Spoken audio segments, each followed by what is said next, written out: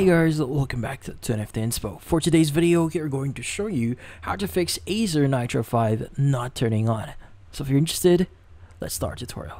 Now, if your Acer Nitro 5 is not turning on, there are a few things you need to do here or you need to know. So first thing you need to do here is you need to unplug all adapters, USB devices, and anything else connected on your laptop. So in this case, just remove anything. Disconnect everything from your laptop. Make sure that it's actually the just bare laptop here. Now, this clears any external power sources that could interfere. So what we doing all we are going to do next.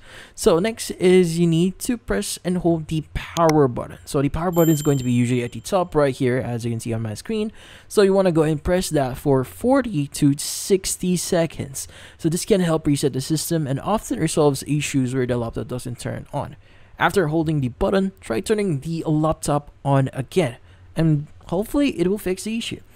Now, in this case, this actually resets the battery itself, so it drains the power, then turns on, it forces a boot here.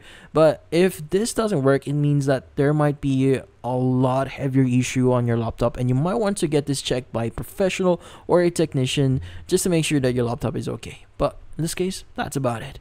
So, hopefully this video was able to help you. Like and subscribe to NFT Inspo Thank you for watching.